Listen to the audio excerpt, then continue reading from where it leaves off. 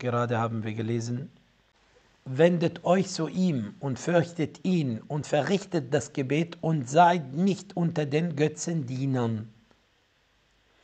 Er hat gesagt, heißt das, dass derjenige, der das Gebet verlassen hat, von Mushrikin ist oder Kafir ist? Dieses Thema ist umstritten zwischen den Gelehrten. Und zwar, pass auf, es gibt Konsens, Übereinstimmung.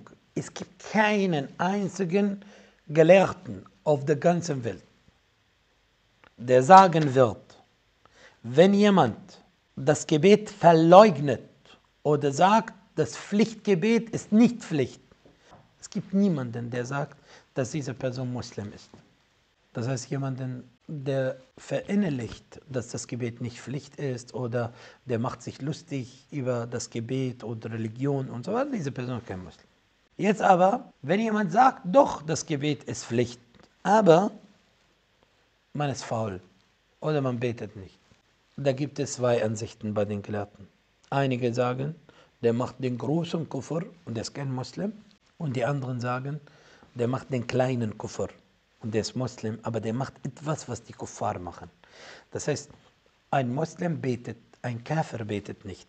Und wenn ein Muslim nicht betet, dann tut er etwas wie die Kuffar und deshalb man nennt das Kuffer bei ihm, aber der wird vom Islam nicht ausgeschlossen. Und es gibt noch eine Ansicht, und zwar, man fragt diese Person, warum betest du nicht? Der sagt zum Beispiel, ach, ihr betet seit tausenden von Jahren, was habt ihr erreicht? Oder ich werde, warum soll ich meinen Kopf auf den Boden tun? Wieso, warum? Diese Person ist kein Muslim. Aber eine Person fragt ihn, warum betest du nicht? Er sagt, möge Allah mir verzeihen, möge Allah mir helfen. Eines Tages werde ich anfangen mit dem Gebet. Und inshallah, Allah gibt mir Kraft und so. Man kann ihn vom Islam nicht ausschließen. Und noch etwas, was wichtig ist. Wenn man sagt, derjenige, der das Gebet unterlassen hat, ist kein Muslim. Was bedeutet unterlassen des Gebetes hier?